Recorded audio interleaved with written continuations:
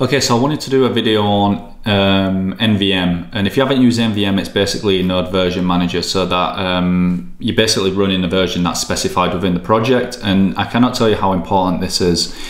There's instances where your package.lock file may have different node versions depending on your globally installed node version. So if you install node and you get like 14.xxx, um, and then someone else in your team is using 16.10.0, um, it can get really, really messy. So you can run into bugs, you can run into different versions uh, that are getting installed within Node modules. So what you want to do is install a version manager. So this one I think may be Mac specific. Um, there's definitely instances where you can use um, Windows because I know people at work use Windows as well. Now it doesn't have to be NVM. There's probably other um, you know solutions to this out there, but this one I've used for a long time and it's really easy to use. Uh, you can see here it uses ZSH and you know I use ZSH. So basically when I go into a project, if I just go out of here and I just put test next app, you'll see there it's found my NVM RC file. So now it's going to run 16.10.0 just like everyone else on the project, which makes total sense. So there'll be no discrepancies with the node version. Now how do we do this? You create an NVM RC file, you put the V and then the version. Now what happens if you don't have that installed?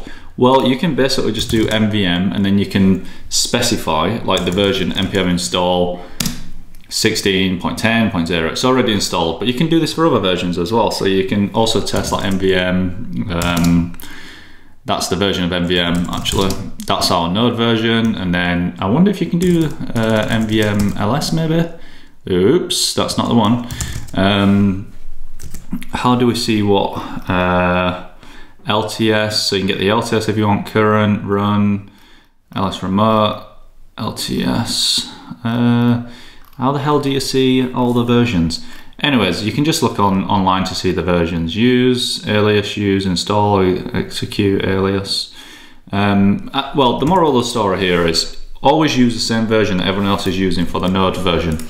In this case, I'm using 16.10 and you can see um, that is using that basically by uh, Node V, so Node version. Now, how did I get that nice option to go into a project and it switches to the Node version? Well, that is the genius of ZSH. So you want to go in here.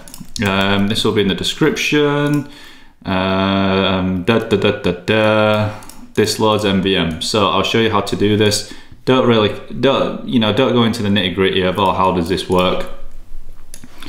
Basically take this, shove it in your .zs, ZS, ZSHRC file, restart ZSH, and when you're going to a project, it'll be like, whoa, there's a NVM, are we looking for that? Okay, maybe it doesn't exist. Um, you can just look in here, you'll need this here too, the plugin as well, ZSH plugin. A ZSH, the NVM plugin. So NVM, there's a few instances in, in here actually. So I've got a few, but what you want to do, I'll post this all in the um, the description. But just take from this, basically, out of everything else, just try run the same node version as every every other developer in your team has.